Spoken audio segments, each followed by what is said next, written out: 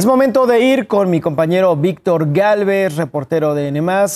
Él nos tiene un reporte sobre un accidente vial en la alcaldía Cuauhtémoc. Víctor, muy buenos días.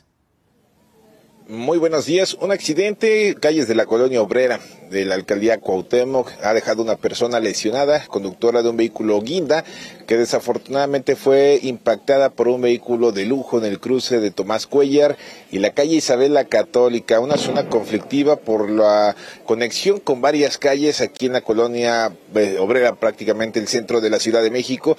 Mujer que ha resultado lesionada y ha sido atendida por paramédicos de la Cruz Roja y en estos momentos han determinado trasladarla hacia un hospital cercano después de esta fuerte movilización de personal de emergencia entre bomberos, paramédicos y elementos de la policía eh, de Ciudad de México. Únicamente ya se encuentran a la espera de que arriben las diversas grúas para poder retirar estos dos vehículos involucrados en el accidente que han quedado totalmente destrozados, el choque y posteriormente la volcadura de uno de estos vehículos y que ha generado propiamente la afectación a la movilidad pese a la poca afluencia de vehículos que en estos momentos predomina con destino, sobre todo si se trasladan sobre Isabela Católica hacia la avenida José María Izazaga. Es la información que tenemos, calles de la colonia obrera aquí en la alcaldía, alcaldía.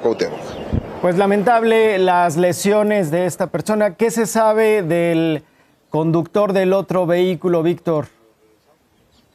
De acuerdo a las primeras versiones, después de impactar el vehículo Guinda, desciende de la unidad y comienza a retirarse entre los curiosos, entre todo el movimiento, eh, pues se perdió entre las calles de esta colonia, calle Colonia Obrera. Dio la fuga.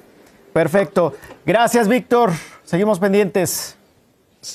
Seguimos pendientes.